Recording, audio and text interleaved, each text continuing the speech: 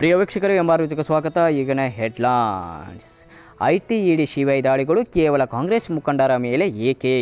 ಬಿಜೆಪಿಯ ಕೇಂದ್ರ ಮತ್ತು ರಾಜ್ಯ ಸರ್ಕಾರಗಳು ಕಾಂಗ್ರೆಸ್ ಪಕ್ಷದ ಮುಖಂಡರ ಮೇಲೆ ಮಾತ್ರ ಐ ಟಿ ಇಡಿ ಶಿವೈ ದಾಳಿಗಳು ನಡೆಸಿ, ಹೆದರಿಸಿ ಬೆದರಿಸಿ ಕಾಂಗ್ರೆಸ್ ಪಕ್ಷದ ಮುಖಂಡರನ್ನು ಎತ್ತಿಕ್ಕುವ ಕಾರ್ಯ ಮಾಡುತ್ತಿದ್ದಾರೆ ಎಂದು ಕಾಂಗ್ರೆಸ್ ಮುಖಂಡ ಅರವಿಂದ್ ದಳವಾಯಿ ಆರೋಪಿಸಿದರು. ಕರ್ನಾಟಕ ಪ್ರದೇಶ ಕಾಂಗ್ರೆಸ್ ಸಮಿತಿ ಅಧ್ಯಕ್ಷ ಡಿ ಕೆ ಶಿವಕುಮಾರ್ ಅವರ ಮನೆ ಮೇಲೆ ಸಿಬಿಐ ದಾಳಿ ಮತ್ತು ಉತ್ತರ ಪ್ರದೇಶದ ಹತ್ರಾಸ್ ಜಿಲ್ಲೆಯಲ್ಲಿ ದಲಿತ ಯುವತಿಯ ಮೇಲೆ ನಡೆದ ಅತ್ಯಾಚಾರ ಹಾಗೂ ಕೊಲೆ ಪ್ರಕರಣ ಖಂಡಿಸಿ ಅರಬಾವಿ ಮತಕ್ಷೇತ್ರದ ಕಾಂಗ್ರೆಸ್ ಪಕ್ಷದಿಂದ ಮಂಗಳವಾರದಂದು ಹಮ್ಮಿಕೊಂಡ ಮೂಡಲಿಗೆ ಪಟ್ಟಣದ ಕಲ್ಮೇಶ್ವರ ವೃತ್ತದಲ್ಲಿ ಪ್ರತಿಭಟನೆಯಲ್ಲಿ ಮಾತನಾಡಿದರು. ಕೇಂದ್ರ ಮತ್ತು ರಾಜ್ಯ ಸರ್ಕಾರದ ಯಾವುದೇ ಹೆದರಿಕೆಗೆ ಹೆದರುವುದಿಲ್ಲ.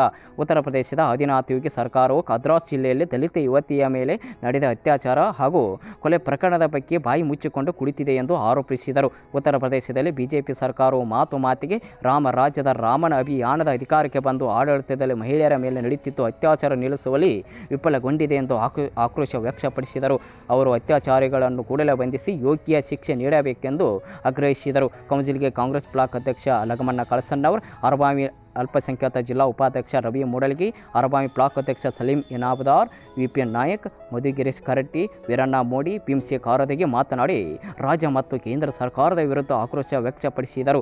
ಬಿಜೆಪಿ ಉಪಚುನಾವಣೆ ಸಂದರ್ಭದಲ್ಲಿ ಮಾತ್ರ ಕಾಂಗ್ರೆಸ್ ಮುಖಂಡರ ಮೇಲೆ ಸಿಬಿಐ ದಾಳಿ ಮಾಡುತ್ತಿರುವುದಾಗಿ ಖಂಡನೀಯವಾಗಿ ಎಂದರು.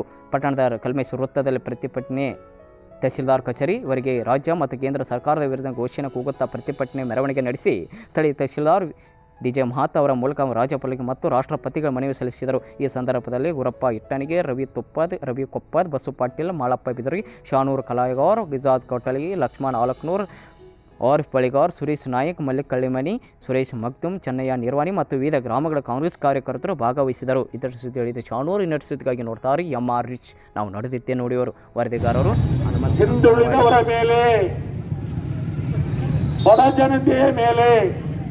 ದಬ್ಬಾಳಿಕೆ, ಕ್ರೌರ್ಯ, ಕೊಲೆ, ಸುಲಿಗೆ ಮತ್ತು ಬಲಾತ್ಕಾರ ನಡೀತಾ ಇದೆ.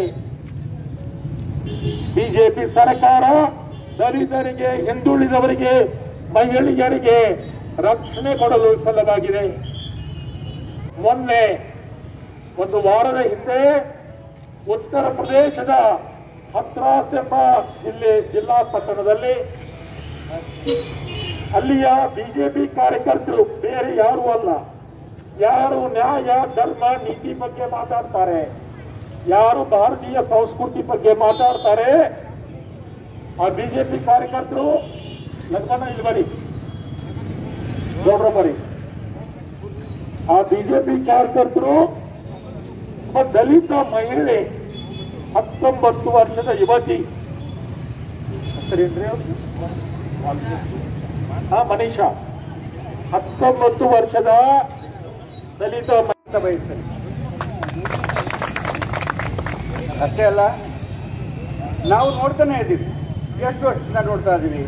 ಈಗ ಬಿಜೆಪಿ ಸರ್ಕಾರ ಬಂದಾಗಿನಿಂದ ನಾವು ಏನ್ ಮಾಡ್ತಾ ಇದೆ ಈ ಬಿಜೆಪಿ ಸರ್ಕಾರ ಅಂತ ನಾವು ನೋಡಕತ್ತೀವಿ ಬರೀ ನೋಡೋದಾಯ್ತು ಆದ್ರೆ ಅವ್ರು ಮಾಡತಕ್ಕಂಥ ಅನಾಚಾರ ಅತ್ಯಾಚಾರಗಳನ್ನ ನಾವು ಇವತ್ತಿನವರೆಗೂ ಬಂದ್ ಮಾಡ್ತಕ್ಕಾಗ್ಲಿಲ್ಲ ಅವ್ರನ್ನ ತಡೆಯಕ್ಕಾಗ್ಲಿಲ್ಲ ಕೇಂದ್ರ ಮತ್ತು ರಾಜ್ಯ ಸರ್ಕಾರಗಳು ಎರಡೂ ಸೇರಿ ಈ ಬೈ ಎಲೆಕ್ಷನ್ ಅಂತ ಏನು ಈ ಒಂದು ಸಬಕ ಐತಿ, ಈ ಎಲೆಕ್ಷನ್ಗಳು ಬಂದಾಗ ಅಷ್ಟೇ